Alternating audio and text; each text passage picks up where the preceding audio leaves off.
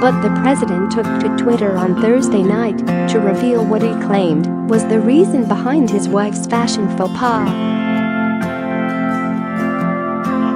Trump tweeted, I really don't care, do you? Written on the back of Melania's jacket, refers to the fake news media.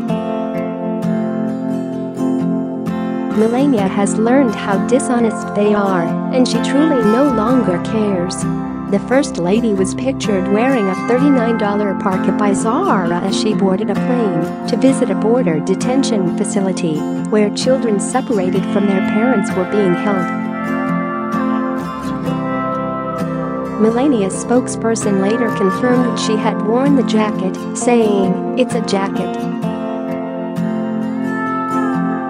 There was no hidden message. After today's important visit to Texas, I hope the media isn't going to choose to focus on her wardrobe. Mrs. Trump, whose pressure was reportedly a factor in Trump's decision to sign an executive order on Wednesday keeping immigrant children together with their parents, left the White House quietly on Thursday morning and flew to Texas for the visit.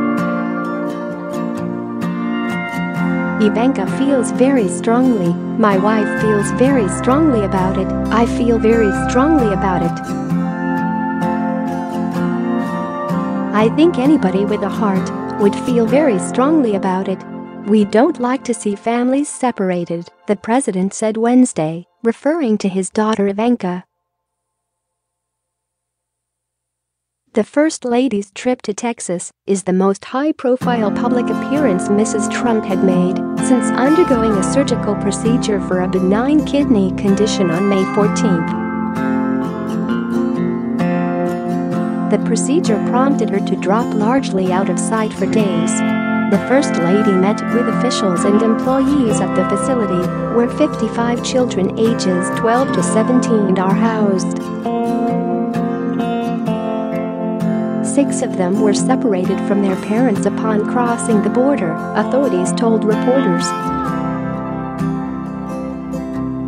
Mrs. Trump sat at a table at Upbring New Hope Children's Center and heard caregivers explain how the children are well treated. She asked many questions, seeking assurances that they are being properly cared for. Later, she toured a section of the facility where the children have bedrooms and was told they maintain their own rooms. I'm glad I'm here, and I'm looking forward to seeing and meeting children, but first of all let me begin to recognize each of you and thanking you for all that you do, for your heroic work that you do every day, and what you do for those children, Melania Trump said.